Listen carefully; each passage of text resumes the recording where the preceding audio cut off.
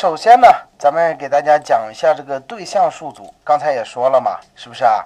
对象数组呀，它是一个数组，是不是啊？哎，它是指什么呀？每一个数组元素的，呃，每一个数组元素都是一个独立的对象，是不是啊？是若干个相同类型的对象的集合，是不是啊，同学们？也就是说，若若一个类当中有若干个对象呀，我们把这一系列的对象呀。用一个数组来存放，是不是啊，同学们？然后对象数组呢，就是个数组，是不是啊？那数组当中有若干个相同类型的对象，在内存当中，而且是连续的、顺序的存储呀。它它既然是数组，它就有数组的特性，是不是啊？哎，构造类型的哈。好，那接下来呢，咱们先看一个比较简单的例子哈，就是咱们怎么去定一个对象数组，好不好？定一个对象数组哈，那这个例子呢，我已经复制到这一个代码里边了，然后咱们看一下哈，看一下这个代码，嗯。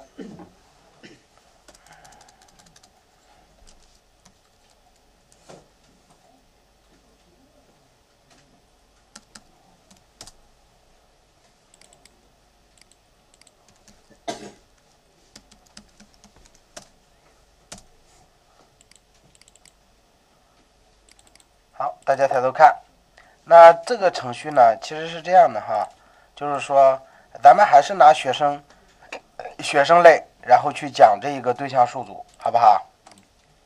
你看啊，同学们，我写了一个 student 点 h，那在 student 点 h 当中呢，我是不是定义了一个什么呀？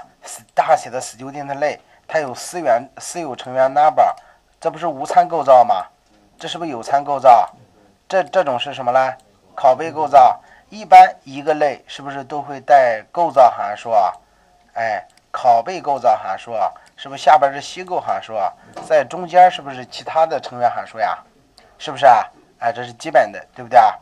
然后在 student 点 h 当中干嘛呀，同学们？student 点 h 当中是不是对这些是不是这个成员函数进行这个定义啊？哎，注意定义的时候是不是要加上作用域运算符？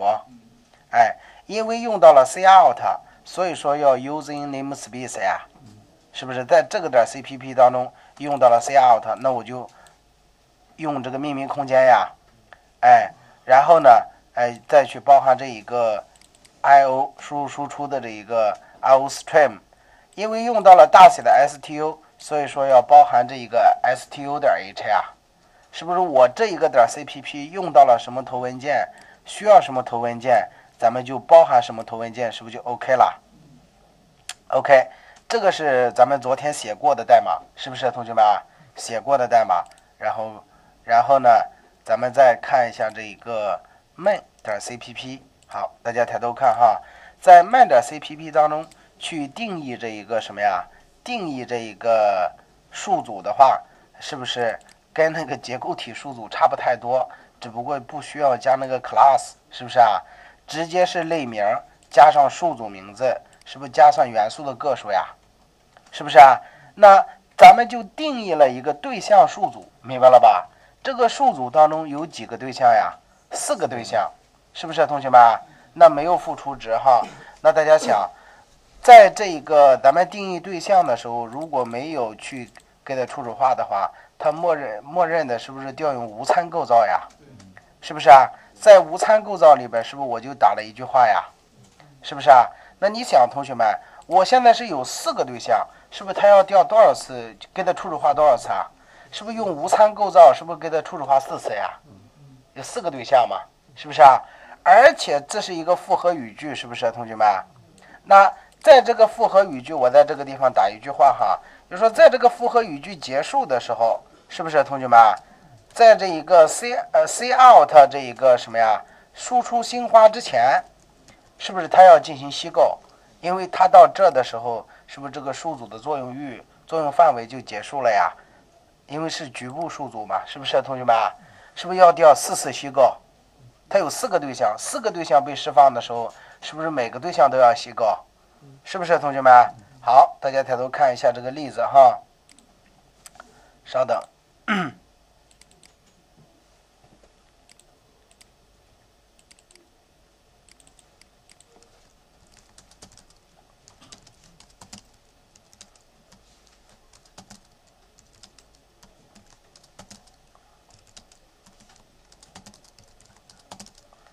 是不是 g 加加慢点儿。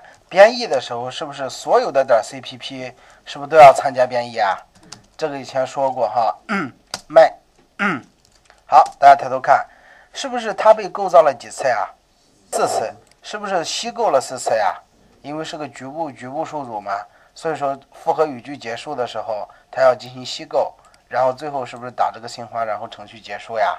好，这是这一个定义了一个简单的一个什么呀？哎，这个。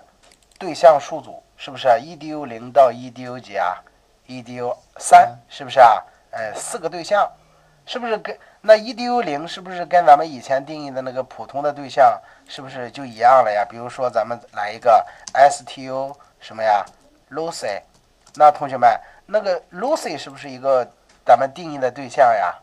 然后 edu 零是不是跟 Lucy 是一一样的？哎，你用 Lucy 怎么去用？怎么去用 Lucy 这个对象？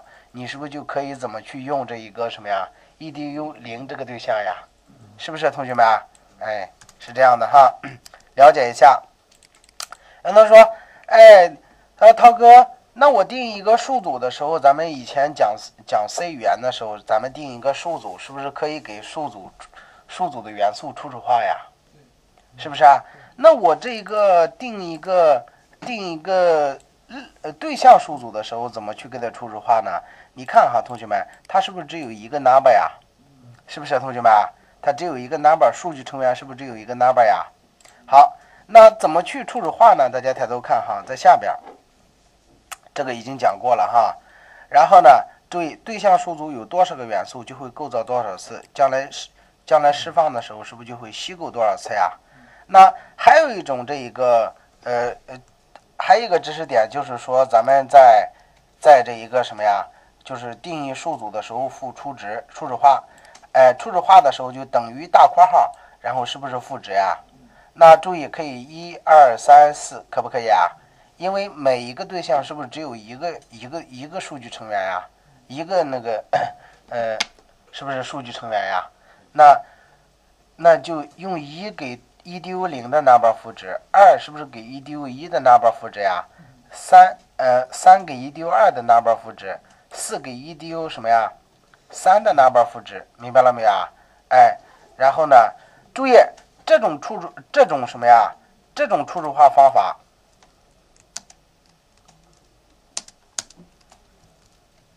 这种初始化方法只适合有一个数据成员的时候，你可以这么去整啊。那你比如说，你还有一个 name，你是不是就不能这么去初始化了呀？好，然后咱们看一下这种简单的初始化，这种这种方法一般不用哈，同学们。零零二代码二，零二代码二，稍等哈。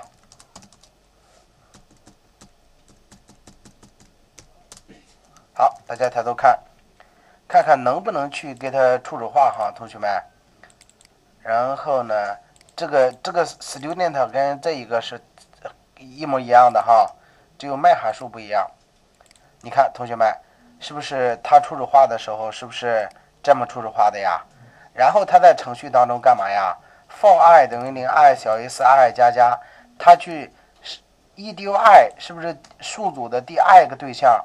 然后去调它的那一个成员函数 get number，get number 是不是是不是获取？number 呀，然后打印，看一下能不能能不能把 number 获取过来，打印出来哈，是不是啊，同学们？是不是跟结构体差不多？结构体数组差不多呀？第几个结构体的哪个哪个哪一个成员？这个是第几个对象的哪一个什么呀？成员或者是成员函数？数据成员或者成员函数呀？好，然后呢？走，你看看。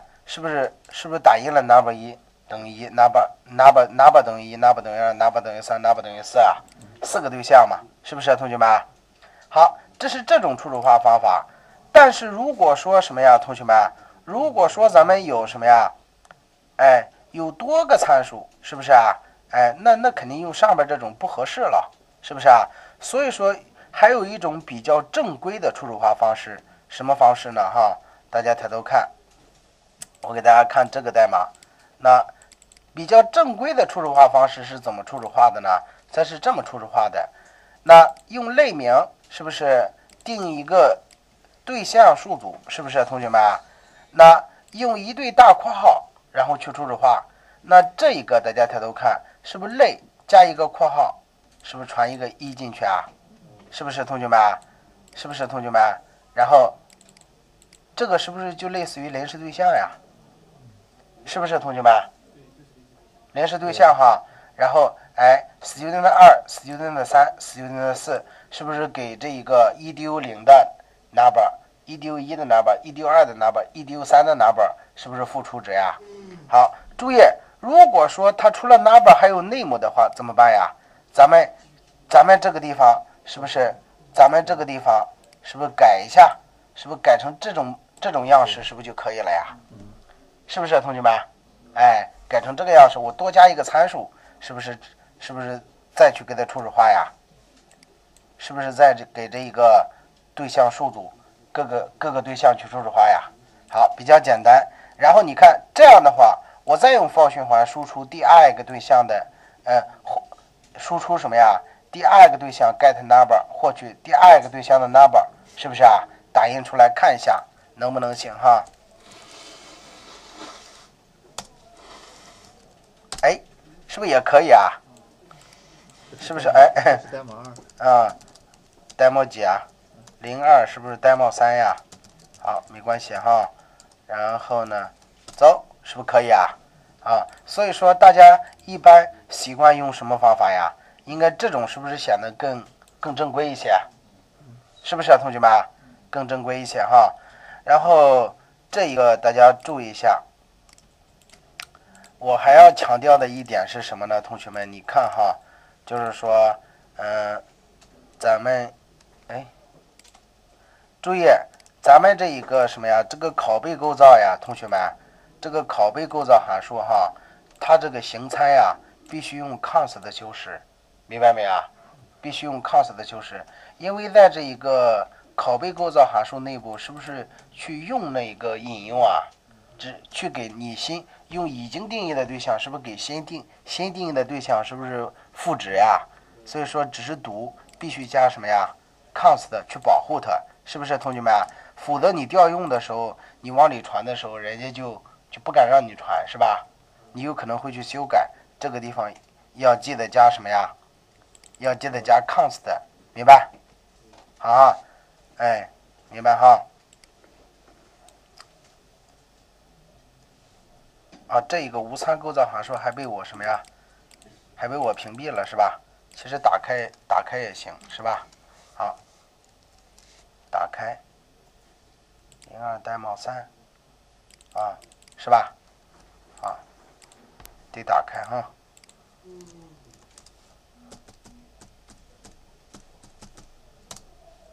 好，那这一个定义对象呢？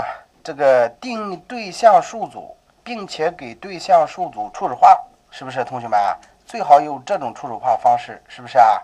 哎，是不是？咱们已经讲完了呀。